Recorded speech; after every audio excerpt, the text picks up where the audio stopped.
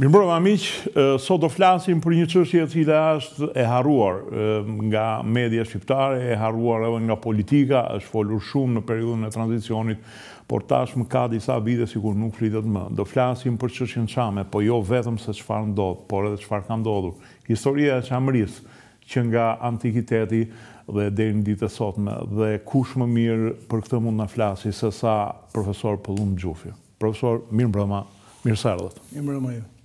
Dua të flas sepse kemi folur shumë për Kosovën, kemi folur shumë për trojet tona jashtë atdheut. Dhe mua më duket sikur Çamëria është, le të themi, ai fëmija i harruar i i Shqipërisë. Ë Profesor, ka është hedhur një tezë së fundmi që Ismail Qemali e shiti Çamërinë sepse kishte gruan greke, Dhe në një farë mënyre ishte një koncesion që ai u bëri grekëve. Ka qëndron historikisht kjo? Absolutisht nuk qëndron. Parë punës ishte e krishterë e shoqja e Ismail Qemalit, po në ishte arvanite A ishte shqiptare e Çamërisë, a ishte greke, kjo nuk nuk është gjetur akoma. Nuk është gjetur dhe nuk s'është marrë njeri. Ismail Qemali ka qenë një familje tradicionale, me shumë fëmi, dhe ku gruaja ishte grua, domethënë, nuk, nuk është se... Nuk kishte të drejtë vote. Ase e shkreta gruaja e Ismail Qemalit nuk ka lënë gjurmë fare, të themi në histori. S'ka fotografi dhe. Absolutisht, si që të themi të si... Si Teodora e Justinianit, e perandorit shqiptar të Bizantit, e cila i fuste hundët në punët e shtetit. Nuk, e shkreta ka rritur nëntë kalamaj sa bëri Ismail Qemali edhe... Ashtë më të për hajtë dilja me lepë. Ismail Qemali absolutisht e di ku bazohen, këta bazohen në një insinuatë shumë të keqe që e ka hedhur dhe e ka mbrojtur fort edhe një historian grek me origjinë korçar, korçar, një Vasil Kondi, i cili në një histori të Vorio Epirit e quan ai, thotë që Ismail Qemali në vitin 1907 erdhi dhe takoi Theotoqin, që ishte kryeministër i Greqisë. Ismail Qemali ishte arratisë ndërkohë nga, që në një mijë e nëntëqind nga Perandoria Osmane dhe tha atë fjalën e famshme që unë tani e tutje u mundova që ta decentralizoj për t'iu dhënë frymëmarrje kombeve që përbënin shtetin osman, Nuk më lanë, përkundrazi, atë kryeministrin me të cilin ky punoi për hartimin e Kushtetutës, e varën në litar dhe këtë rrezikuan që ta dhe ky iku nga Libani e mbajti në Europë. Në nëntëqind e shtatën shkon në Athinë takon Theotoqin. Dhe tani Kondis thotë që në atë bisedë thotë është rënë dakord që Vorio Epiri t'i kalojë Greqisë, Ismail Qemali, dhe ky që ka botuar dhe dokumenta, katër vëllime me dokumenta, nuk ka një dokument që ta vërtetojë këtë gjë. E thotë në një libër pa citime, pa gjëra, dhe kjo është marrë. Në fakt, Ismail Qemali, masi takoi Theotoqin, takon një kryetar të shoqatës greko-shqiptare kishin krijuar Ministria e Jashtme greke një shoqatë me me një arvanitas në krye, Zaimi më duket, po, i cili u takua me Ismail Qemalin dhe nxorën në gazetë, nxorën një ë po themi një material për të cilin kishin rënë dakord që Greqia do, neve si shoqatë do promovojmë çështjen shqiptare në Greqi, shkrimin, gazetat në gjuhën shqipe e të tjera e të tjera dhe në fund thuhej u ra dakord që kur të bëhet Shqipëria e pavarur, kufijtë me Greqinë do jenë kufijtë historikë. Kjo është fraza e shkruar një ditë masi takoi Theotoqin. Tani Ismail Qemali nuk mundte te Theotoqi të fliste tjetër gjë dhe te ky që ishte i Theotoqit, se ishte ishte një po e themi një OJQ që varej nga Ministria e Jashtme, siç ka sot, kupton plot. Edhe Këtu Ismaili ka kënduar këngë tjetër, me kufijtë do vendosen kufijtë historikë, po kufijtë historikë kanë qenë jo në Prevezë, po kanë qenë në Lepanto, në Naupakt historik.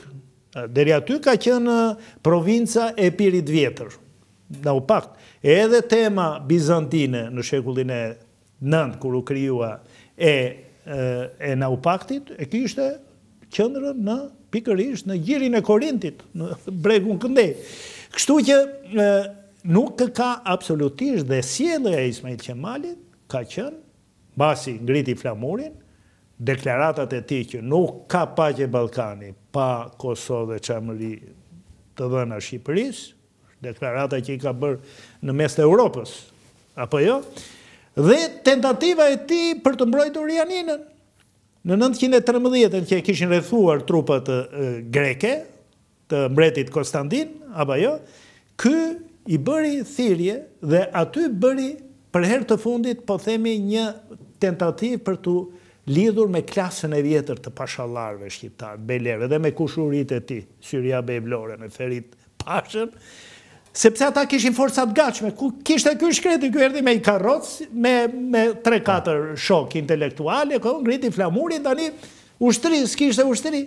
Atëherë, u detyrua, u bëri thirje pikërisht, Vrionasve, Libohovave, të gjithë kushërinjve të tij Vlora, që Të jepnin forca për t'i çuar në Athinë për të mbrojtur. Sepse ndërkohë më fal në Janinë për të mbrojtur. Nuk ishin vendosur akoma. Nuk ishin vendosur kufijtë. Akoma diskutohej në në në Londër, por nuk ishin vendosur.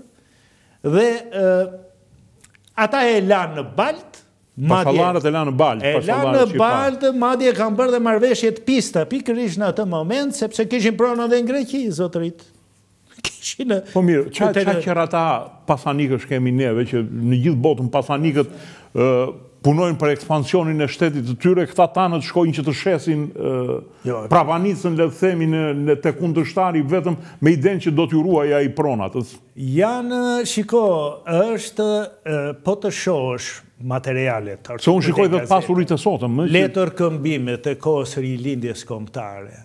Ka një pezëm ndaj klasës feudale, që i kish shitur interesat e vendit, që ishin bërë zëdhënës të pushtetit osman, që nuk kishin vënë një gur në vendin e tyre.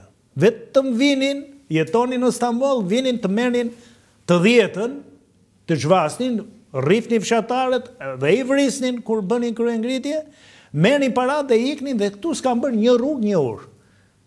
Dritan, çfarë ka nga, po themi, nga Tirana e poshtë, me Berat e, me, me, me, me, me Gjirokastër, e me Janinë, Zagori, e. çfarë ka ndërtime të periudhës osmane?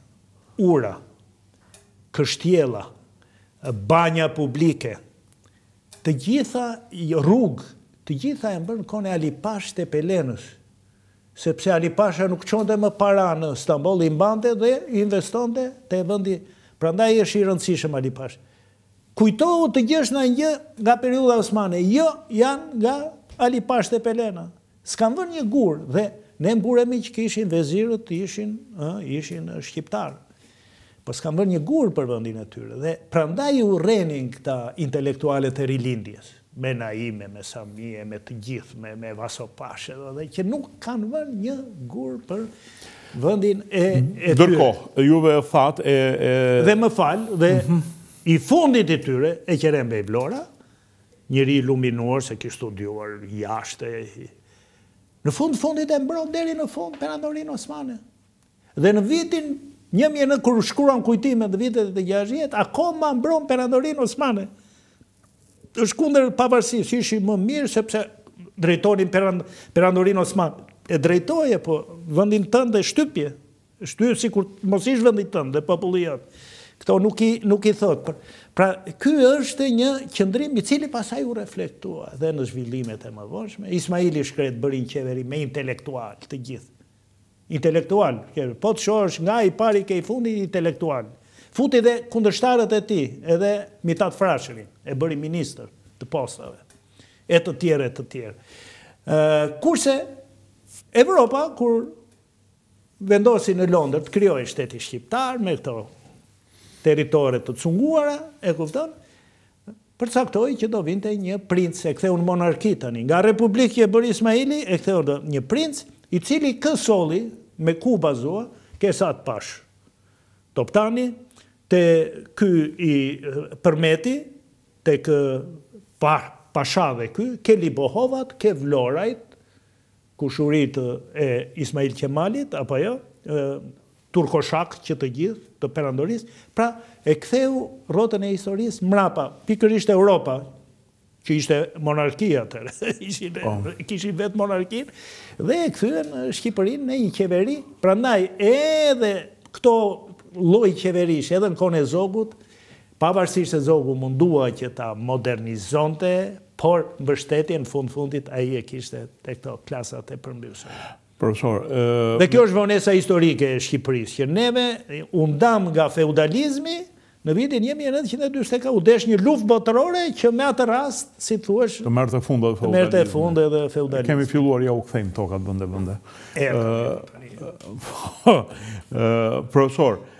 Megjithatë, Janinën në atë kohë në mos gaboj e mbronte një pasha shqiptar, Esat Pasha, jo ky Esat Pasha. Jo, jo, ishte tjetër ai, po. Nuk ishte ky Esat Pasha. Jo Esat Pasha i vrarë nga Avni Rustemi. Dhe, të paktën me ç'kam aty ku kam lexuar, se nuk jam një njohës i thellë i historisë së kapërcyellit nga Perandoria Osmane në atë shqiptare, Shumica e rekrutëve aty ishin nizamë shqiptarë. Si shpjegohet që nuk e mbrojtën këtë? Ishte pikërisht kjo tradhti e bejlerëve? Rrethimi i Janinës ka vazhduar me muaj, nuk ka qenë, nuk u morën edhe brenda ditës, kështu që rezistenca aty ka pasur, madje është një Karl Buchberger, i cili ka qenë në atë kohë konsulli i Austro-Hungarisë në Janinë. Ai ka jetuar deri në vitet, fund viteve shtatëdhjetë dhe ka bërë një, edhe një artikull për ngjarjet e Janinës dhe flet për për për për tmerret që ka parë, domethënë me shqiptarë të të therrur jashtë mureve të të kështjellës, Se ishin banorë edhe të fshatrave rreth e, po, rrotull, kishte shumë fshatra shqiptare, kishte edhe greke, kishte edhe vlahe, pa dyshim, por kishte edhe fshatra janina, kishte fshatra shqiptare, dhe i ka përshkruar në këtë artikullin, domethënë, tmerre të papara që janë bërë. Pra, marrja e Janinës nuk ka qenë një akt paqësor kështu është bërë me me luftë e rezistencë. Po nuk është shkruar fare, për shembull, siç është shkruar për rrethimin e Shkodrës, për Po nuk nuk është shkruar për rrethimin e Shkodrës se të Janinës, të, të Janinës, siç është shkruar për rrethimin e Shkodrës, sepse në në se këtu ka çudira të mëdha në në çështjen e, e Shkodrës u angazhua dhe komuniteti ndërkombëtar Austro-Hungaria në radhë të parë, që vuri veton, tha Shkodra do i ngelet Shqipërisë Edhe pa filluar bisedimet në konferencën e ambasadorëve në Londër, Shkodra do ngelet Shqipërisë dhe këmbguli me forcë që të shkonte edhe flota atëherë, shkoi flota e Austro-Hungarisë që kishte bazën. Jo vetëm e Austro-Hungarisë, por edhe e Francës dhe Anglisë për të vënë kufijtë e vendosur për t'i imponuar, sepse Malazezët ndërkohë e kishin rrethuar dhe Ali Pasha ja u ja u dha Më fal, Esat Pashë Toptani, ja u dha madje dhe me me para goxha të mm. rënda që e pagoi princ Nikolla i Malit të Zi. Ë, siç thonë dokumentat, që nga angleze e të tjera. Dhe ë kurse në në jug, në në këtë në Janinë. Kaloi më në heshtje, madje ka dhe një ka dhe një episod shumë interesant, u interesuan në radhë të parë këta garibaldinët. Riçoti Garibaldi, djali i Garibaldit që ne njohim, i cili kishte një organizatë paramilitare dhe bënte si i ati çonte në vendet ku kishte lëvizje revolucione çonte ndonjë kontigjent. Ai solli edhe këtu, Erdhi për të, si thuash, për ndihmuar shqiptarët, ë, për tu që po çlirohen tani nga Perandoria Osmane dhe ai kontingjent shkoi në Janinë dhe në vend që të luftonte për shqiptarët, kur mori vesh që po ata janë myslimanë, e kupton, u bashkuan me grekët dhe ata luftuan kundër shqiptarëve dhe dhe këtë është për se është histori e bukur. Për këtë ka shkruar dhe Benito Mussolini, që atëherë ishte socialist, nuk ishte bërë fashist. Ishte bërë akoma fashist. Dhe këtë episod e përshkruan bukur se paska pas pen Mussolini dhe e mbyll me një frazë latine. Domethënë, këta shkuan për ndihmuar shqiptarët dhe u bashkuan me grekët, meqë ishin të krishterë grekët, të ta çlirojmë nga turqit, domethënë, dhe u dhanë ndihmuan. Dhe thotë e mbyll me Sic transit gloria mundi dhe kështu përfundoi lavdia e botës. Është një shprehje latine, e kishte me Garibaldinët që u kthyen nga mbrojtës të çlirimtarëve të pushtuesve, domethënë. Kështu që e ka pasur këtë fat të keq, pastaj mos harrojmë mbështetjen e jashtëzakonshme që ka pas Greqia. Greqia është një shtet i lindur nga mbështetja e Europës, kryesisht e Anglisë dhe e Francës, natyrisht dhe e Rusisë në në sfond. Profesor, Çamëria mund të cilësohet si Epiri i Jugut? Çamëria si krahinë e Lashtësisë, duke u nisur nga Lashtësia, ajo çka quhej Epir. Epir në në që nga antikiteti, Epiri është konsideruar gjithmonë një tokë ilire. Edhe po them vetëm dy fakte që e thonë dhe historianët e arkeologët tanë këtë. Dy fakte. Domethënë, autorët e vjetër, Tuqididi, Herodoti, grekë, kur shkruajnë për Epirin, thonë Epiri ka dhe koloni greke. Edhe përmendin nja dy koloni në Epirin atë që the ti, në pjesën jugore të Epirit. Ça tregon kjo? Kolonitë ngriheshin në një vend të huaj. Domethënë ku ka koloni? Koloni u ngritën dhe në Itali. Po tregonte që popullsia që italiane po u ngritën në dy, tre, katër qytete. Koloni greke janë. Janë koloni greke, por në një territor latin. Në territor latin. E njëjta gjë kjo. E dyta, Epiri ndryshe nga ç'ndodhte me Athinën, me territoret greke, ishin të organizuar në mbretëri. Athina ishte demokraci, apo jo? Këtu ti ke mbretëri. Ti ke mbretëri dhe mbretëri ku një rol të rëndësishëm shpesh kanë dhe gratë. Që në Athinë, Platoni ka shkrujt kundër grave sa duash, jo mhm. përfshirje politikë, po të rrinë urtë, thoshtë. Kurse këtu ti ke një kulturë tjetër që vjen, që vjen, ka një traditë, e kupton, e vjetër, Teuta në veri, apo jo, E jëma e Pirros gjithashtu dhe ajo me me me rol të madh në kalimin e pushtetit. Edhe e jëma e Aleksandrit. E jëma e Aleksandrit, domethënë që është këto dy po them, nuk po them mbishkrimet e çfarë dalin në institucionet e shtetit. Është një kulturë komplet tjetër që s'ka lidhje me atë helene. Nuk ka lidhje me të. Në mesjetë pasaj ku kam një lloj kompetence unë me mesjetën, është aty flitet vetëm për shqiptarë, që në shekujt e hershëm. Që nga, që nga Arta e përpjetë? Shekull, shekull, që nga, po them, që nga edhe e zona e, e Etoloakarnanisë, Ka pasur ngulime, po themi komunitete të tëra me shqiptarë. Sepse është një është një letërkëmbim që bëjnë dy dy peshkopë. Peshkopi i Korfuzit me peshkopin e Naupaktit, që kishin dhe miqësi, dhe dhe ky tani i Korfuzit, që ishte kishte edhe mbiemrin Bardhani, Bardhi, domethënë Bardhan. Bardhan, Bardhan gjendet në mesjetë, kështu, rëndom, nga veriu, nga Kelmendi deri në jugun e thellë shqiptar.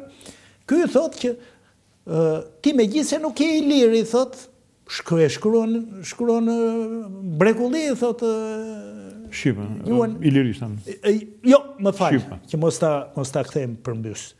Ë, domethënë i thotë letra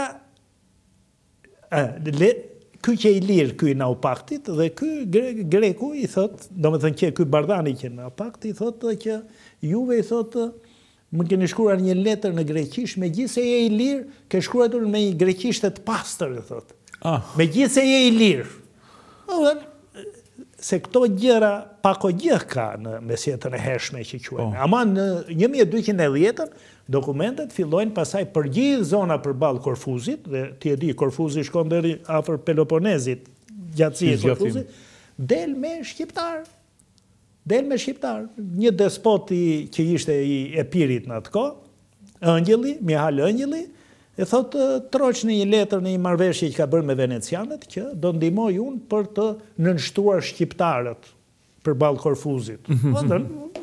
Pastaj Shekulli katërmbëdhjetë pesëmbëdhjetë janë dokumentat me po të them minierë me dokumenta që unë kam pas, si të thuash fatin që i kam kërkuar, i kam gjetur në arkivin e Venedikut. Me pas aty edhe zotërit atje janë shqiptarë. Aty dalin fshatrat, aty dalin familje të çdo fshati me emër, se venecianët ishin shumë të interesuar sepse kishin edhe Butrindin dhe Pargën në sterenë përballë Korfuzit, baza tyre, po ishin të interesuar se kishin frikë se prej andej nga toka mund të vinin ushtritë osmane të pushtonin Korfuzin dhe kishin një rrjet informacioni, spiunë me bollëk në çdo fshat, të cilët raportonin që erdhi një ushtri, ose edhe për çështje shëndetësore, për shembull, ka rënë murtaja në filan, dhe hapej panik i madh, po. murtaja ka qenë tmerr në atë kohë.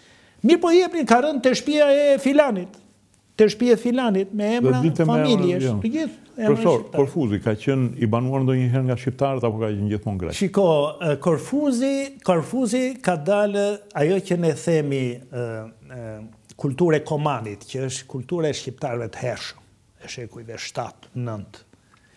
Është gjetur dhe në Korfuz.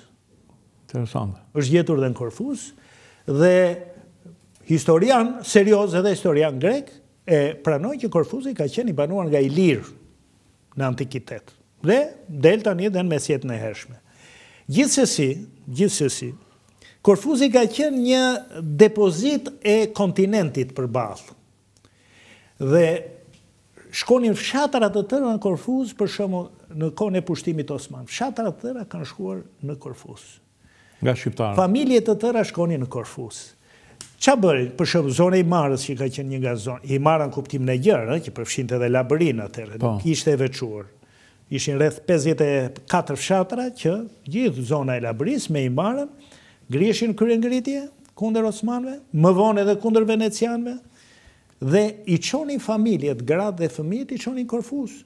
Mirëpo kryengritja vazhdonte edhe një vit, edhe dy vjet dhe tre vjet dhe familjet e tyre si të thuash mësonin dhe gjuhën aty dhe fëmijët mësonin dhe gjuhën duke qenë pastaj mund të ktheheshin në mbrapsht mas katër pesë vjetësh dhe kjo është dhe një nga rrugët që ka hyrë si gjuhë e dytë greqishtja në ca fshatra të bregdetit.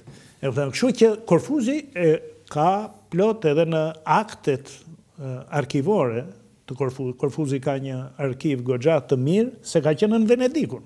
Deri sa erdhi Napoloni ajo ka qenë nën Venedikun dhe ka si thuash dhe kulturën e pra, dokumentacionit, perëndimore të dokumentave. Dhe aty, domethënë familjet shqiptare kanë qenë në aristokracinë e, e Korfuzit. Kapodistria kishte ndonjë damar shqiptar? Tani un kam dëgjuar nga një kolegu im, një histori që është nga Gjirokastra, Sepse mua më thonë Gjirokastrën e vjetër, më tregojnë edhe shtëpinë e Kapodistrisë. E, shtëpinë dhe thonë që në kur erdhën grekët në 1914 në Gjirokastër, një grup me studiues grekë, me historianë të njohur, U përqendrua dhe me fotograf në një në një shtëpi. Te Pazari i Vjetër është poshtë Sahatit. Shtëpi të madhe, po, në atë zonë.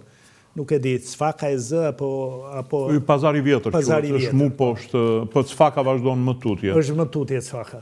E, edhe ky e kish traditë familjare tani këtë gjë dhe morën edhe gjëra, dokumenta e shkresa e të tjera, i bënë fotografi, domethënë dhe doli që Ata kishin të dhëna që kjo ishte shtëpia e Kapodistris. Gjithsesi është një nga familjet që gjeti shpëtim në Korfuz në kohën e sundimit osman.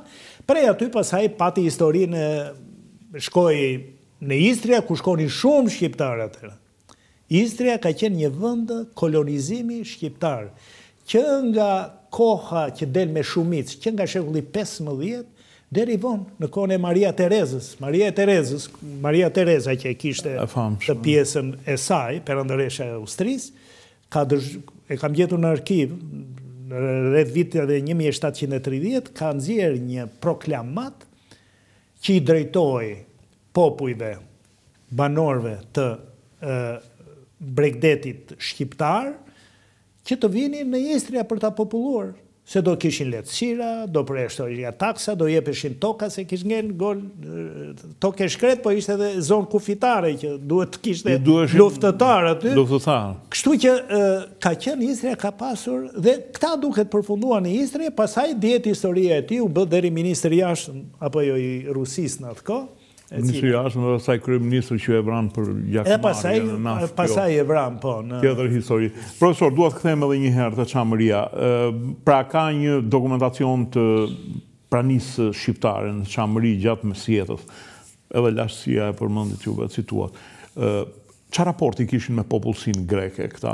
Apo ishin thjesht çamë ortodoksë, shqiptarë ortodoksë, ata që neve i quajmë grekë? Të them të drejtën, Këtu është keqkuptimi i madh që nga vetë çamët, të cilët e përthithën atë stereotipin që u krijua mbas pushtimit osman, që ata që ishin Të krishterë i quanin grekë myslimanët tanë.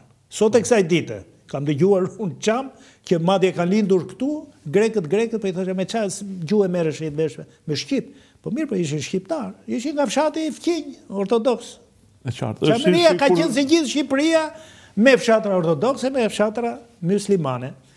Dhe Ky është keqkuptimi i madh. Kjo klishe e krijuar nga grekët. Kjo klishe e krijuar, e mbrojtur krijimi i shtetit grek pastaj sigurisht me krijimin e shtetit grek ka politika të caktuara ndaj Çamërisë, ndaj Shqipërisë së Jugut, apo jo, hapja e shkollave ka qenë interesim direkt marrëveshje si të thuash e qeverisë greke me Patrikanën e Stambollit, e cila nga ana e saj bëri marrëveshje me sulltanin. Madje për paradoks, sulltanin e shpallën mbikëqyrës të shkollave greke. e shpalli patrikana, i dha titullin, i dha një mbikëqyrës me të kujdesej sulltani për shkollat greke. Nuk kanë shkuar kaq keq grekërit me turqit një herë një kohë. Ai Shën Kozmaj që që thuhet që ka ardhur dhe ka hapur shkolla greke, Ka ardhë me dy, me dy dekrete në, në xhep, domethënë, me një të lëshuar nga Patrikana për të hapur shkolla greke në deri, vajti deri në Krujë, në se dinte edhe shqipen. Mhm. Se qe edhe shqiptar, ta themi mes nesh. Po, ta themi dhe mes nesh. Shqiptar, nga, E, jo, jo, nga, jo, jo, shqiptar nga këta që shesin lëkurën kollaj. Ai ka bërë, m- ka qenë murg në manastirin e Fteleonit. Në Malin Athos, Manastiri i Fteleonit qe manastiri i shqiptarëve, se ishin ndarë sipas kombësive manastiret, manastir rus, rumun, Pandelemoni rus, Interesante. ë ky sërbi, manastir sërb, manastir rumun, e kupton? Paska pas dhe një dhe është një murg rus në vitin një mijë e katërqind e tetëdhjetë që shkon në Malin e Athos dhe thotë erdha këtu në Fteleon tha gjeta gjashtëdhjetë murgj shqiptarë dhe nja tridhjetë nxënës të tyre. E thotë murgj shqiptarë. Këtu, mas tre shekujsh, Kozmai ka bërë atë stazhin, themi, e murgut, dhe pastaj shkoi në Konstantinopojë dhe e nisi, e nisi, në Stamboll e nisi me, me mision. Patriku, por dhe Sulltani, Sulltani detyroi që t'i thoshte popullsia ku të shkonte që na e ka dhënë Perëndia Sulltanin, të parin tonë, që Zoti e është e shkruar ajo që duhet të thonte, dhe thonte Shën Kozmai që e kemi, e kemi të dërguarin e Perëndisë, ai na mbron, ai na shu, të, ta e paçi me jetë, domethënë. Nga ana tjetër, ky i thoshte që do hapësh shkolla greke. Dhe në Himarë ka një episod të në literaturën greke është citohet gjithmonë që për të ndërtuar shkollë greke, prishi kishën.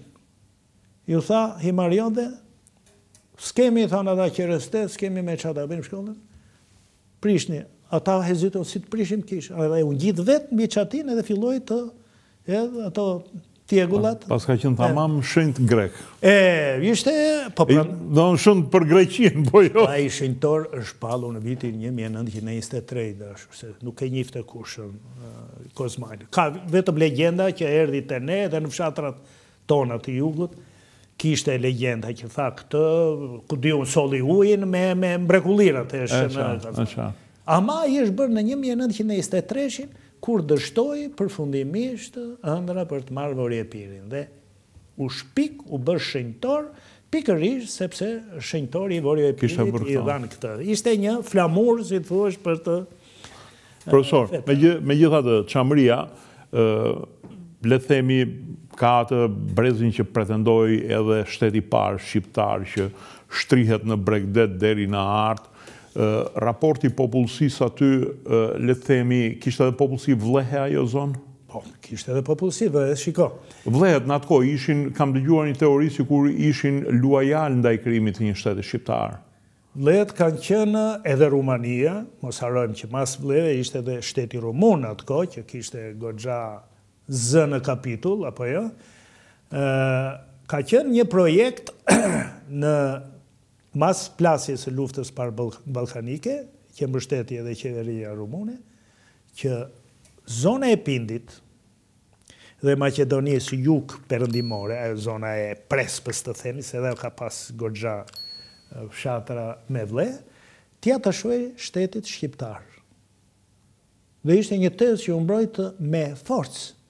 Pastaj me ndërhyrjen e Greqisë natyrisht, Si më tolerant. Sepse marrëdhëniet e vllehëve me shqiptarët historikisht, vllehët shfaqen që në shekullin e dhjetë në burimet, është një Kekaumenos, një autor bizantin që i përshkruan, i nxjerr për herë të parë si vlleh, të cilët banonin në këtë zonën e Shqipërisë. Jo, po kishte edhe në Maqedoni, kishte në Kosovë, kishte, dalin në dokumentat e shekullit katërmbëdhjetë, kishte shumë në Mal të Zi, gjithashtu vlleh. Vllehtë kanë qenë një Faktor i rëndësishëm, i shpërndarë, por i rëndësishëm. Në Mal të Zi s'e kisha dëgjuar ndonjëherë. Dhe marrëdhëniet me, pastaj janë asimiluar, pa po të them Manastiri, qyteti Manastirit, ka qenë me shumicë shqiptarë dhe vlleh, nuk di të them vlleh e shqiptarë. Pastaj kishte dhe grekë, kishte dhe dhe sllavë, po kryesisht kanë qenë këto popullsi deri në fillim të shekullit të njëzet.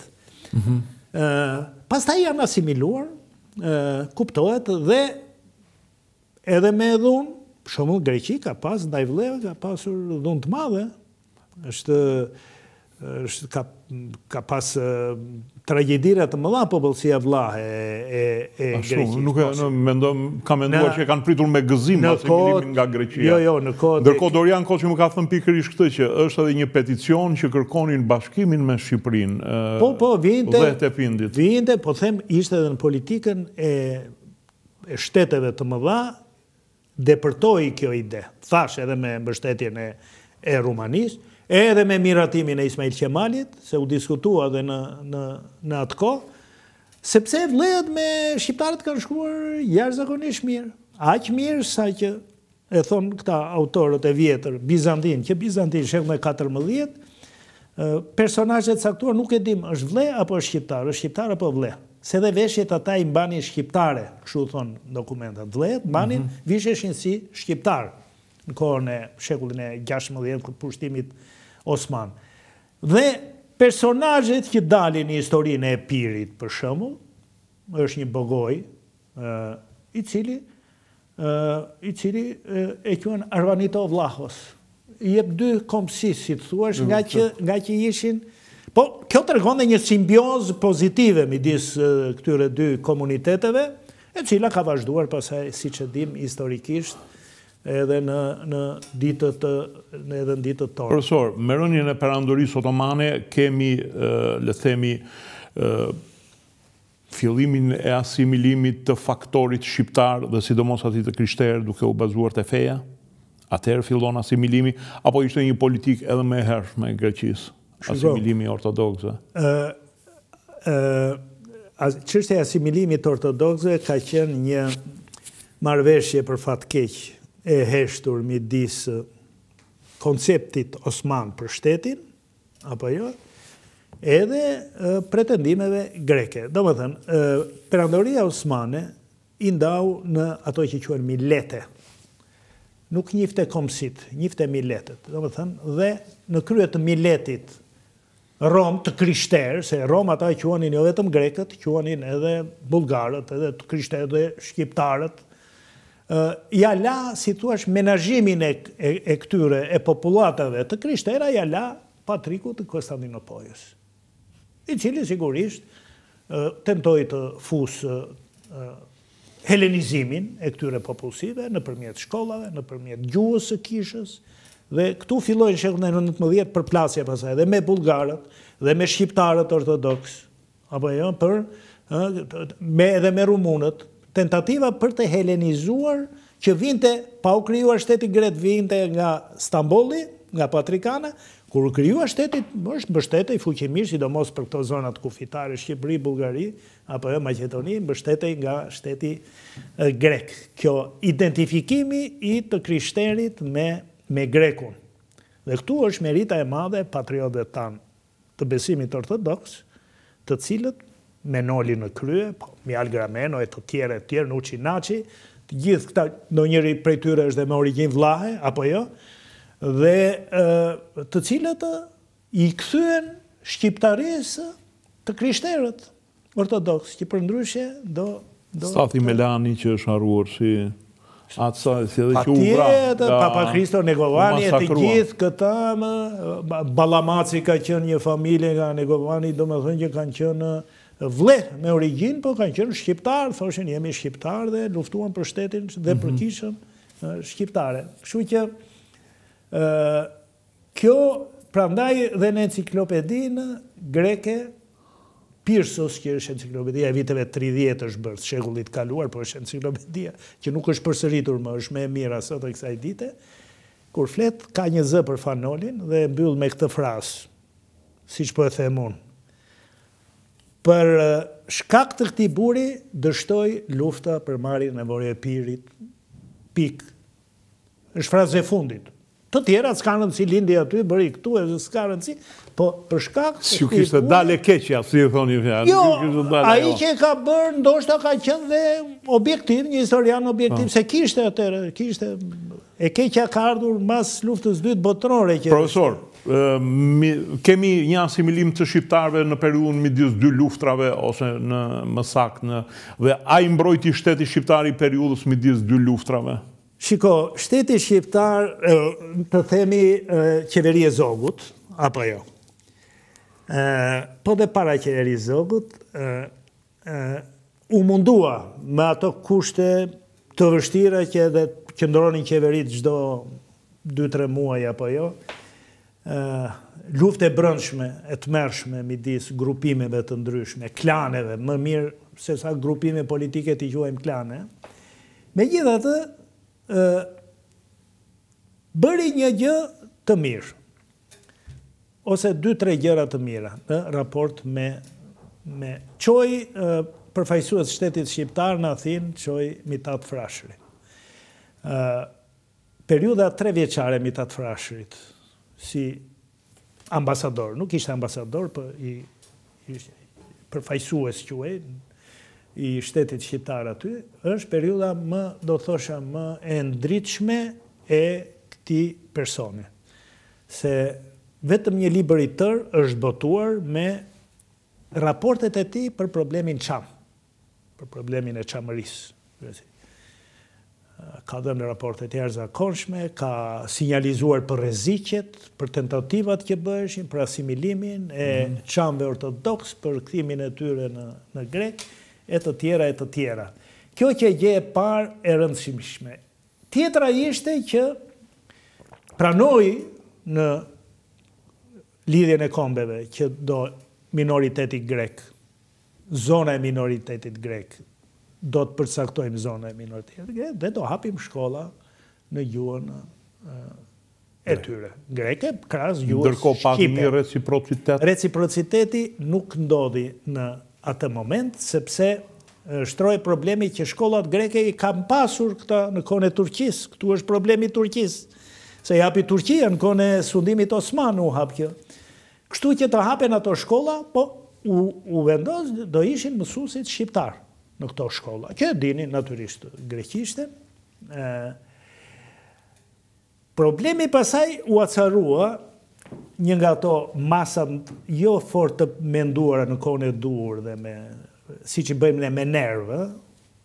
Edhe nëntëdhjetë e treshin kujtohet me mas masakrës së Peshkëpisë, ca lëvizje ë reaktive po them të të drejtuesve në atë kohë që e zhytën më keq, në vend të rregullonin punë, e zhytën më keq me atë gjyqin atyre agjentëve që agjentë kish shpallur që Enver Hoxha, domethënë. Jo, që ishin agjentë, ishin agjentë po, ata po. Po, po ishin, po ishin që në atë kohë, po nuk tani veprohet me maturi këto gjëra, nuk Ashtu është. E kështu dhe Zogu në vitin 1900 ai hapi këtë, po themi një si si që hapi ky Bismarcku i famshëm, e Kulturkampf, lufta për kulturën dhe Zogu Meqenëse s'po i shkonin mirë punët me Italinë, mbylli shkollat private, fetare dhe laike. Dhe me atë rast mbylli dhe shkollat greke se ndërkohë grekët kishin hapur si të thuash dhe shkolla të tyre që i mbanin me mësues me Gjatë, në kohë, në momentin e duhur e gjetën dhe këtë hapësirë. I mbylli dhe këto shkolla që mbaheshin nga Athina me para dhe përfundoi në gjyqin e Hagës se e hodhën qoftë italianët qoftë grekët dhe e humbi atë gjyq dhe u bë një marrëveshje me Greqinë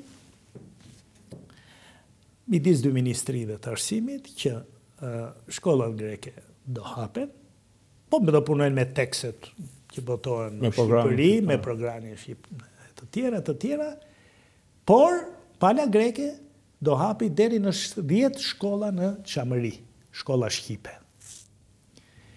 Kjo e grekëve u realizua, kjo jona nuk u realizua. Nuk u hap asnjë shkollë në Çamëri, vazhdonin shkollat greke. Shkolla greke të cilat, siç thotë vetë ky mitropoliti i Paramithisë grek në vitin një mijë e nëntëqind e nëntë, ka një mision të caktuar, Duhet që shqiptarët t'i bëjnë grekë, madje ai i jepte edhe një ide që të hapeshin shkolla për vashat, për vajzat, sepse thotë, e shkruan me këtë, këto vajza nesër do bëhen nëna dhe do bëhen nëna të helenizmit. Sepse do i, do i, do i mësojnë fëmijët e tyre me, me gjuhën greke. Domethënë, ka pas politika... Platforma të... Platforma të qarta.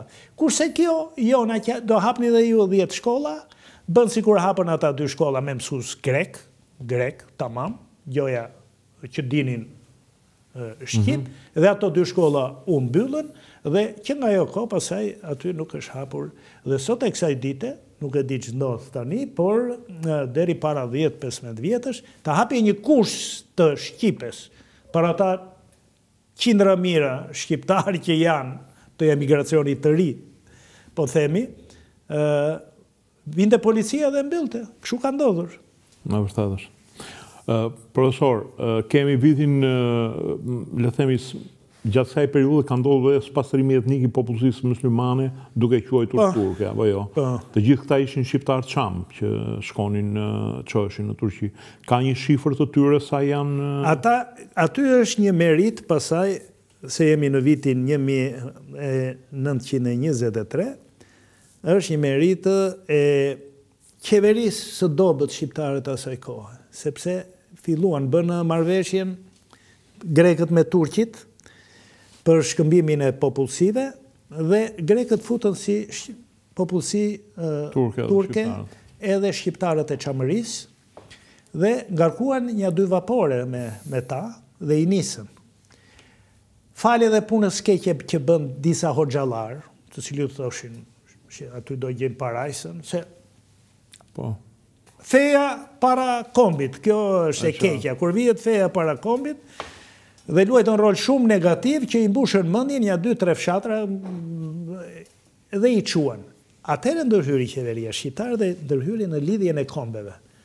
Ka qenë një Blinishti nga Shkodra, katolik, që e ka mbrojtë me heroizëm këtë çështje dhe u hap si, po prit se këta nuk qënkan, kanë çuar një delegacion Lidhja e Kombeve, të cilët thanë këta vërtet janë myslimanë, po këta janë shqiptarë, këta flasin shqip, Kanë dhe mbiemra madje të krishterë, që nga koha që kanë qenë të krishterë, kështu që u bllokua procesi.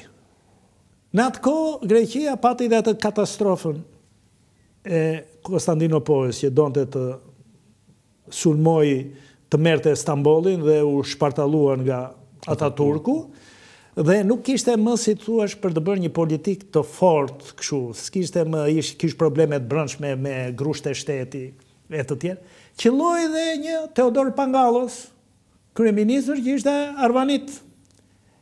Gjyshi i Pangallosit. Gjyshi i Pangallosit qe ministri i jashtëm të para disa vjetëve, I cili bëri një politikë të shtetit grek krejt të kundërt nga ajo që kishin bërë kryeministrat e parë.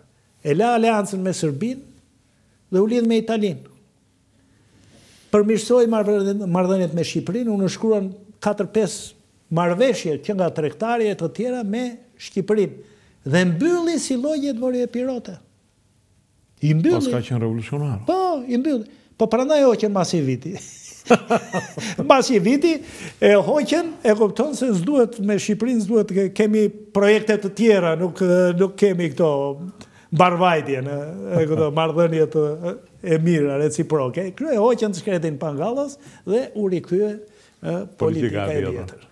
E cila ishte le të themi një status quo as miq as armiq për të ardhur pastaj në vitin dyzet e katër, dyzet e pesë me spastrimet e çamëve. Pastaj është kjo histori domethënë e e dyzet e katërs në qershor të dyzet e katërs që Edhe si rezultat i po themi i një marrëveshje që bën nën presionin e anglezëve kryesisht, e djathta greke me të majtën EAM-i me EDES-in, që ishin dy formacionet e armatosura. EAM-i kishte me qindra mijëra partizanë, EDES-i kishte disa dhjetëra, disa qindra dhe anglezët në tentativë për të shmangur të majtën në pushtet, se jemi në qershor, gjermanët filluan tërheqjen, realizuan këtë marrëveshje sipas të cilës tani do krijohet një ushtri kombëtare, dhe atë ushtri kombëtare e mbushën ata që kishin ikur në emigracion të djathtët ose forcat kuislinge nën gjermanët që kuislinge dhe krijuan atë ushtrinë po themi e shtetit të ri grek masakruan me ndërhyrjen e anglezëve në dhjetor të dyzet e katërs masakruan edhe të gjithë të majtët masakrat i quajnë e dhjetorit sot e kësaj dite në Greqi, të organizuara nga Churchilli dhe me desant anglez, u vranë me qindra komunistë edhe të majtë. Ka foto të masakrave nëpër sheshet e qyteteve. Dhe me atë, si të thuash mori e djathta pushtetin.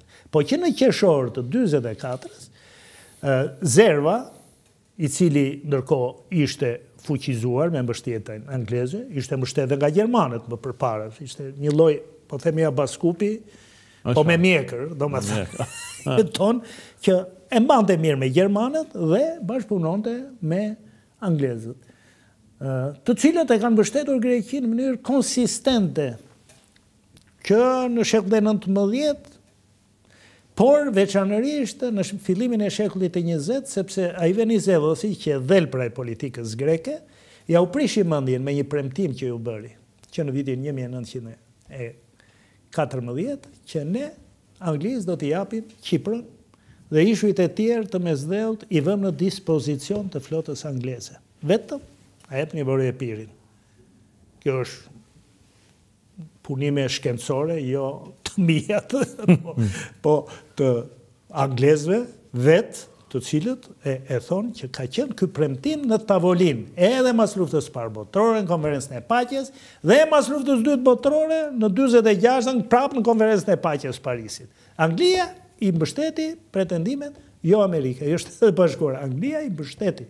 edhe në dyzet e gjashtën, sepse ai qe në thelb interesi politik të kontrollonte Mesdheun e moralshme, e vlefshme për anglezët, pa po për ne ishte katastrofë, apo jo? Po. Këtu është problemi. Në fakt dhe një zgjuarsi greke sepse e dinte shumë po, mirë historinë e Anglisë. Po zgjuarsi greke dhe një budallallëk yni që sot e kësaj dite deputetët tanë fillojnë me një frazë Churchillit, hapin naj fjalor kështu nga këta atë. Edhe filloi Churchill, nuk e dinë Churchilli donte ta zhdukte Shqipërinë se interesat e tij donin pikërisht që ta kish mirë me Greqinë. Domethënë, nëse Churchilli do ishte gjerman, ë, me siguri do kishte pësuar fatin e Hitlerit, po të lexosh historinë e tij politike. Mirëpo ishte anglez, ka ishte në anën e fituesve dhe shpëtoi mirë. Dhe kështu erdhim në 40 e thashë 44 në qershor, filluan zervistët një masakër në Paramithi, për të krijuar atë frikën e madhe të ikjes. Siç e bën, janë, këto janë Këto janë janë teknologji. Skema, janë teknologji. Janë teknologji terrori. Bravo, është teknologji, ka ndodhur këtu, ka ndodhur, ka ndodhur në Palestinë, madje, e njëjta gjë. Bëj masakër, zhduk një fshat të tërë, që të ikin të tjerët, të tremben të ikin. Dhe këtë e kanë bërë me Çamërinë. Domethënë, kanë bërë një masakër të përbindshme në Paramithi, të cilën e shtrinë pastaj, edhe në Pargë, edhe në Filat, dhe në mënyrë masive, popullsia Çame myslimane iku, se të krishterëve i thanë, shiko, ju keni qenë hyzmeqarët e këtyre, në kohën e Turqisë, i doni tokat e tyre, i doni shpitë e tyre, hajdeni me ne. Dhe e neutralizuan, po themi, çamët ortodoksë, faktorin ortodoks çam, dhe po të shkosh sot, Mbase ti ke shkuar, unë kam shkuar para vite të tëra. Në Parga, në Parga po është lokali që ka foton e xhamisë që është prishur në luftë e të fesë Po në Gliqi, një fshat i humbur Gliqi, në rrëzë të Sulit aty, në Frar Në Pargën e vjetër, mua më kanë folur shqip. Kamarieri që vinte aty, djali i thashë unë, di shqip, i thashë në shqip, shumë Ma tha me inat, si s'di, tha, djali që shërbente, kamarier, domethënë nga këta të shkollave që domethënë. Domethënë flitej shqipja gjithandej dhe janë, janë shqiptarë, pa dyshim. Por i, i mbytën me këtë, i, i ofruan pronat, i ofruan privilegje, e kupton, Dhe ata u merret goja, thonë ke nanjë kasetë me këngë shqiptare nga ato me kaba, ato me Në fakt në Igumenicë, tashmë në Pargë, unë isha përpara një viti në maj kam qenë dhe isha në Pargën e vjetër ku Spiroja, i zoti i lokalit, kishte foton, skicën e xhamisë së vjetër që kishte qenë sepse ishte mu afër xhamisë, më foli shqip, m'u kthye shqip, E kishte si me zor ta pohonte që ishte shqiptar, por e rëndësishme është që ia kish mësuar djalit të tij shqipen dhe djali i tij na fliste shqip. Dhe pastaj erdhën dhe të tjerë dhe na folën shqip dhe neve kemi bërë emision. Dhe pastaj vajtëm dhe në Sivota, edhe në Sivota e njëjta gjë, në dy tre lokale që shkuam, dyqane, që të blinim diçka, u thoshim, a dini shqip dhe na thoshin, po, dimë shqip. Njëra prej tyre na tha e kam mësuar për tregti, po se për ç'tregti do ta mësonte ajo, po si duket e kishte me siklet, ta thoshte. Histori të tilla, Po, ka pa fund. Unë kam plot, kam plot. E po të kujtoj, se e përmbledh historinë e Çamërisë, mas 44-ës, një episod që kam jetuar. Qëndruam një familjarisht me familjen, herët, vitin 2003, një dhjetë ditë në Pargë, që thua ti. Edhe, te një familje qe një çift, burrë e grua, në moshë të avancuar. Po themi pleq në atë kohë. Pleq jemi ne 70. Aq duhet të ishin dhe ata. Po. Edhe ë ë u vendosëm aty këta një çift flisin me njëri-tjetrin shqip dhe shaheshin shqip. Nuk ma zë goja t'i them sharjet, i thoshte plaka plakut. po se thonë që qanë edhe shanë edhe shanë shqip në gjuhën amtare. Flisin shqip në fillim të rezervuar kështu. Unë Kisha interesa nga historia, ky mali mos është kështu? Ai çuditej, po kjo, po ky fshat, po kështu, a ti duhet të jesh, tha, çam, më tha, jo mor s'jam çam, i thashë, po unë jam historian, merrem me historinë, i thashë, jo duhet të jesh çam. U bind pastaj, por u miqësuam, në fillim, domethënë vetëm, shtratin, dhomën, edhe asgjë ashtu, pastaj filloi të më sillte kafenë mua, Dhe më thoshte, si mu di dhe aga, më thoshte. me, me skemën e para dyzetës e kupton, kur çamët myslimanë ishin, si të thua, më kamurit, më aga, pozita si mu di dhe aga, dhe një ditë, madje më thotë, shiko, thotë, i shkreti, nuk besoj të jetoj se ishte dhe i sëmurët. Me me ju duam ne më thoshte, nuk duam me këta më, me ju duam të të vini ju më thoshte. U kënaq. U kënaqa edhe unë dhe një më thotë një ditë, "Ore ti do të shohësh tha, a ke qejf ta shohësh Çamërinë." Po kam i thashë unë, po nuk lëviz dot, se erdhën, u interesuan për mua, erdhën nga policia, po, po, kush është ky që vjen, edhe kishin kapur tromaksur shkretin plak, më erdhi një natë mua duke sharë. Po ç'ke mo i thashë? Po e kanë marrë vesh tha që ti je ambasador në Itali edhe Po ç'ke ti i thashë pse shqetësohesh, shkoj unë vetë aty i sqaroj, s'ka e s'ka, nuk kanë e ju kam ardhur për Megjithatë kam, kam idenë, profesor, që ka filluar, sepse kam dëgjuar raste ku shefa policie, për shembull që gjenden shqiptarë në vështirësi, po flas për vitet e fundit, po. që neve, si me thënë, shkojnë dhe i prezantohen dhe i flasin shqip, që mos... Po, jo, shiko. Domethënë, ka filluar një lloj rizgjimi i tyre në... Shiko, ka padyshim, ka sjellje, sjellje, ja po të them, domethënë, mua më kanë qëlluar... Jo, jo, thonë vetë ata, jemi, jemi çamë i thonë, edhe kur i prezantohet, më tregonte një, nuk e mbaj mend, shefi i policisë... Atë e thonë me zë të ulët... Me zë të ulët, patjetër. Të jo, jo. paktën deri një para 20 vjetësh, se S'kam qenë. Jo, ka filluar është më ndryshe tani. Tani e shoh që është më ndryshe. Sepse ka filluar një lloj rizgjimi. Po dhe Ati ynë në shqip këtu ka peshë, këtu, domethënë, edhe ajo tregon një një lloj, domethënë, po. shkrirje dhe shpresoj. Sidomos me vajtjen e pushuesve shqiptarë në ato zona ka filluar po. një një një lloj rizgjimi i tyre. Po ata shkojnë, nuk shkojnë. Profesor, të jemi objektivë. 45 90 ka një lloj Blackout për çështjen çame. Enver Hoxha nuk e përmendi kurrë. E ke gabim. Po. Po gabim e ke. Dëgjo. Menjëherë mas çlirimit, kur erdhën çamët këtu, Enver Hoxha ka mbledhur aleatët, përfaqësuesit, generalin anglez, generalin amerikan. Dhe u ka thënë që në rast se Çamët nuk do kthehen në trojet e tyre, në shpitë e tyre, në pronat e tyre, ne do detyrohemi të përzëmë minoritetin qe bllof, kuptohet, po. që s'e ka pas asnjëherë. Dhe ata e morën seriosisht, sepse anglezët, po të shohësh edhe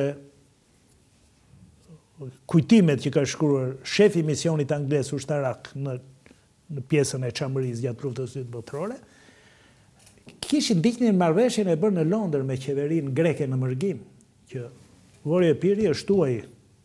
Dhe prandaj s'e pranuan anglezët as Zogun.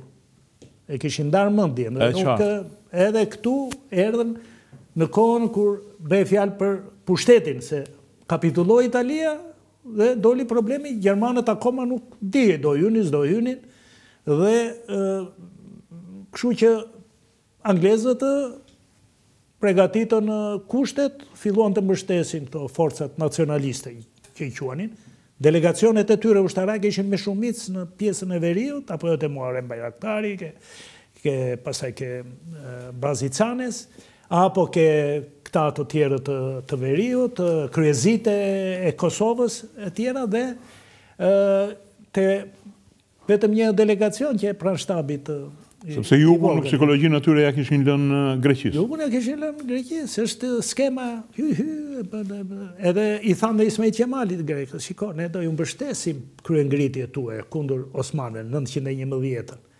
Por kryengritje në jug mos ketë, në veri vetëm, nga Shkumbini e sipër. Mhm. E qartë. Dhe realisht ky seç mori përsipër në ndarjen e detyrave Ismaili në 911 të gjente armë në Europë, se kishte lidhje të fuqishme, po. realisht gjeti dhe solli nëpërmjet Korfuzit armët. Pra, anglezët e kishin të paragjykim, për të për t'ia lënë Vorio Epirin Greqisë. Greqisë. Dhe prandaj ky i mblodhi dhe i tha, shikoni tha, në qoftë se juve unë do përzë popullsinë minoritare. Popullsinë minoritare. Dhe alarm i madh. Këta i çojnë një mesazh Londrës që ky e ka mendjen e keqe. Dhe Londra i përgjigjet, shiko, i thoni që tani aty është luftë civile, nuk janë kushtet për t'i kthyer, se ku do shkojnë. Kur të normalizohet gjendja, do t'i kthejmë patjetër në tokat e tyre. Edhe Londra luante bllofin sepse në krahun tjetër e kishte ndarë mendjen që Po ajo e kishte ndarë mendjen dhe po natyrisht Po gjithsesi ekziston ky zotim i Londrës që do kthehet. Është ky, është e shkruar, është botuar në dokumenta, patjetër, gënjeshtër, domethënë, okay, po e ka e ka kishte ndërmend t'i kthenin, po qetësoheni me këtë, i thanë, Realisht mas dyzet e filloi luftë e ftohtë pasaj dhe këto gjëra ngelen. Ngelen padyshim, nuk megjithatë megjithatë ka pas interesim për Çamërinë. Është e vërtetë që nuk u janë dhënë pashaportat deri në vitin pesëdhjetë e gjashtë nënshtetësia jo, me idenë jo deri në pesëdhjetë e gjashtë, që të kthehen mbrapsh? Ka qenë deri nga, ajo ka qenë deri në vitin 51, më duket, deri në 51-shin, nuk iu është dhënë pasaporta shqiptare me gjithmonë me mendimin që këta janë qytetarë të Greqisë dhe do kthehen në vendin e tyre. Pastaj natyrisht kur u pa që nuk puthte më ajo punë, luftë e Koresë, e ku di unë, përplasja lindje perëndim, nuk kishin kushtet, sigurisht iu dha sepse pashaportat janë dhe të drejtat qytetare që fiton, apo jo, është një apolit, nuk mund të rrije apolit. Le të thonë që edhe shpërndarja e tyre, Ishte mendoj unë një lloj dhënie të drejte të se si shtetas shqiptar sepse përndryshe do kishim faktorin palestinez që do krijoheshin kampe buzë kufirit që më tepër do ishin çështje destabiliteti edhe për që jo vetëm për Shqipërinë, po më pas kësaj pati interesim të për popullsinë çame të mbetur aty të paktën. Për popullsinë çame aty Ka pasur me siguri në aspektin agjenturor, them që unë nuk nuk i di, po që jo, ka pasur. Ka pasur shumë, po. Ka pasur, ka pasur në këtë aspekt, ka pas patjetër. ë Radio Gjirokastra që jepte që jepte edhe në gjuhën greke dhe në gjuhën shqipe, sigurisht kishte një orientim edhe ajo në atë drejtim dhe ka qenë dhe detyrë funksionale, të paktën këtë e di dhe nga nga miq që kanë punuar në ambasadën tonë në Athinë, që kishte njerëz të posaçëm që kishin detyrë që periodikisht të shkonin në fshatrat e Çamërisë, në Çamëri, e kupton, të raportojnë. Dhe mos harrojmë edhe këto kur u bë ajo, filloi të hapej diçka, Me Greqinë, ato grupet artistike, stacioni i parë ishte në Prevezë, në Çamëri, apo jo, aty jepnin shfaqjet e para, pastaj edhe në pjesët gre. Ka pas një politikë, po gjithmonë me një Në kushtet e luftës së ftohtë. Në kushtet e luftës së ftohtë, pastaj në kushtet e krizës që hyri vetë Shqipëria, krizë ekonomike, krizë e gjithanshme, shteti s'kishte, s'kishte më forcë, s'kishte më, si të thuash që të merrte, por interesimi ka qënë. Dhe në plan politik pasaj, edhe në atë periudhën e tranzicionit, nëntëdhjetë e një, nëntëdhjetë e një, nëntëdhjetë e dyshin, Në nëntëdhjetë e një, për shembull, është një takim që bën, vjen Micotakis dhe takon Ramiz Alin, presidentin, në janar të nëntëdhjetë e njëshit. Ramiz Alia, i ndjerë në atë kohë, si thua, s'e pyeste partia e vet, domethënë ishte një njeri i braktisur i cili shumë shpejt do e linte se ndryshoi. U pa që sistemi do ndronte dhe do dilte jashtë atë e kishte të qartë besoj dhe ai. Ama me Micotakis i ka qëndruar fort Ka qëndruar shumë fort, kam lexuar proces-verbalin e atij takimi, sepse Mitsotakis i erdhi me të parën, domethënë kërkoi kërkesë e parë që Janullatosi të bëhej kreu i kishës autoqefale shqiptare. E bëri Ilir Meta, ia realizoi. Jo, jo, u bë, u bë. Ajo më fal, çfarë? E bëri Saliu, po, e po, bëri. E bëri Saliu pastaj dhe me ai dha Edhe me fjalë burrash. Dori sa ku pastaj, mirë i thoj, Dori sa ku. Aty më ke. Po. Ashtu dhe. Ramizi i thotë, kërkoi pastaj për shkollat, për minoriteti nuk është minoriteti në një zonë minoritare. Në fakt ka qenë kompakt minoriteti në në një zonë. Minoriteti është në gjithë Shqipërinë i shpërndarë, domethënë të hapim shkolla greke në Tropojë, në Shkodër, kudo ku ka minoritete. Ka fituar edhe një herë Nard Noka si parti greke në Parlament të Dejës. Po me siguri, po. Ka fituar. E po, kështu është kur kur vjen inxhinier. Edhe Që the ti të hapim shkolla, kisha greke, janë hapë kisha, në që të themë të, ku s'ka fare, s'ka pas. Po, s'ka, shkon njeri, kam. Të gjitha, po të gjitha janë, po t'i shohësh, kështu, ku derdhet Vjosa, edhe vazhdon rrjedhjen e Vjosës, shko deri në Përmet, ke kudo, shenja, shenja, domethënë, kryqe, kisha, kisha, që s'kanë vend, do të thosha, kisha të reja, me një model, me një stil që më shumë i ngjan asaj atje nuk ka të bëjë me kishat prej guri që kemi ne në kishat e vjetra e të tjera dhe i thotë Ramizi i thotë shiko unë jam president thotë kisha ka drejtuesit e vet ka organizimin e vet ne jemi shtet laik Prandaj tha, unë mendova që ke ardhur për të zhvilluar marrëdhëniet, i tha, marrëdhëniet ekonomike, kulturore mes dy vendeve. Ti më vjen si drejtues i kishës greke, i tha, i thot, kështu që i thot ai, po juve i keni shtypur grekët e i keni Ne nuk i kemi shtypur, tha grekët. Përkundrazi, kanë pas të drejta, kanë qenë vendet më të lulëzuara, fshatrat greke, gjuhën, shkollat, e të tjera, e të tjera, gazetat e tyre. Ju i thot, aty hap problemin çam, ju i keni vrarë, i keni prerë, tha shqiptarët të Çamë, thënë. Dhe besoj është herë e fundit që është thënë nga një drejtues shteti shqiptar kjo. Dhe atij i shpëton goja dhe thotë po ata nuk ishin grekë. A pse i thotë Ramizi? e kishte mendjen të shkathët megjithëse ishte në moment të vështirë. Politik. Ju ata që s'janë grekë ju prisni kokat? Dhe këtu u mbyll muhabeti, ishte parashikuar edhe një konferencë shtypi, siç bëhet ndonjëherë, nuk u bë as konferencë e shtypit, dhe do të thosha është qëndrimi i fundit i fortë, e bën Ramiz Alia që s'qe një njeri i forcës të themi, nuk ishte për kohën e tij dhe për statusin e tij si një drejtues komunist, ishte njeri abas mjaft këshu i iluminuar, themi, dhe më tej pastaj vjen lëshimi pa frena. U lëshua gjithçka, u hoq dorë nga gjithçka, u hoq dorë dhe nga një kërkesë që e shtroi qeveria Berisha, kur filloi prishja për shkakun e, e masakrës Peshkëpisë, kërkoi që Greqia të njifte kufirin Se sot e kësaj dite nuk e njeh Greqia, e njeh komuniteti ndërkombëtar që e vendosi atë kufi, por Greqia nuk e ka firmosur atë gjë, madje edhe edhe këto shënjat edhe marrëveshja për piramidat. Janë marrëveshja për piramidat dhe marrëveshja për zhdukjen e konflikteve, incidenteve kufitare që ndodhin në vendet kufitare, nuk i ka nënshkruar. E shtroi qeveria Berisha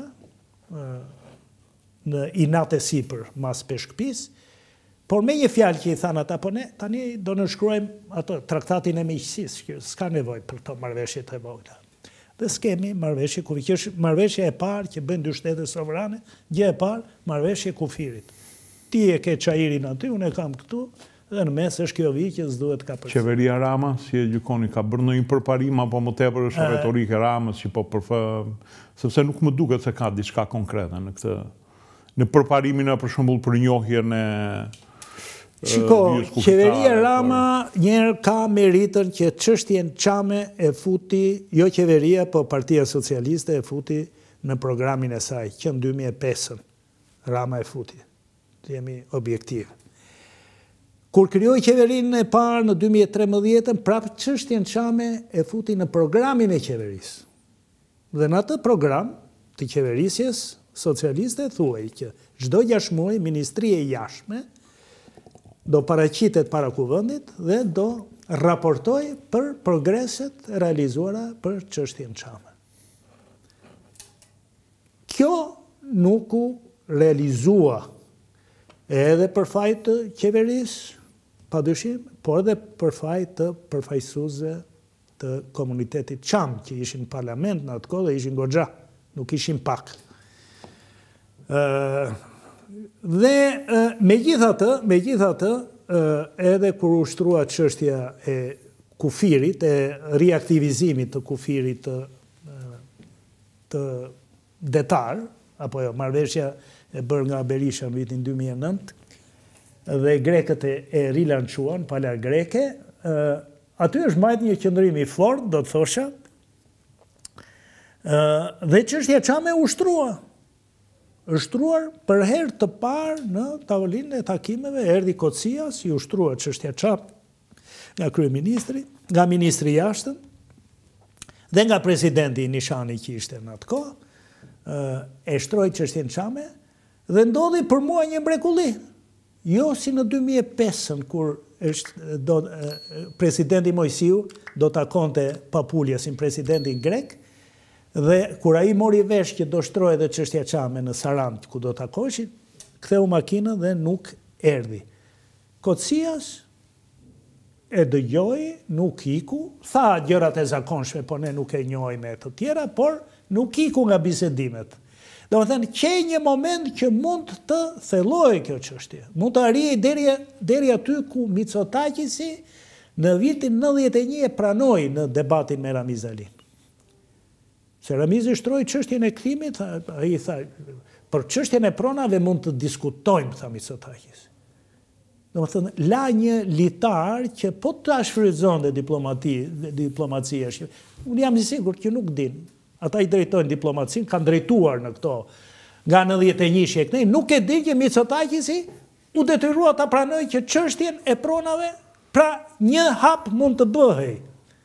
Ajo është lënë edhe nga komuniteti çam sepse e kanë të vështirë përfaqësuesit e komunitetit çam të zënë Ramiz Alinë se ka qenë diktatori i fundit komunist, oh. që kështu ua ka lënë porosi oh. zoti Berisha e kupton edhe oh. ata atë do ta shfrytëzojnë këtë, more ka thënë Micotaqi, djali i tij është në është kryeministër. Ndërsa grekëve s'u bën syri tërr edhe për me. Djali i tij është kryeministër sot.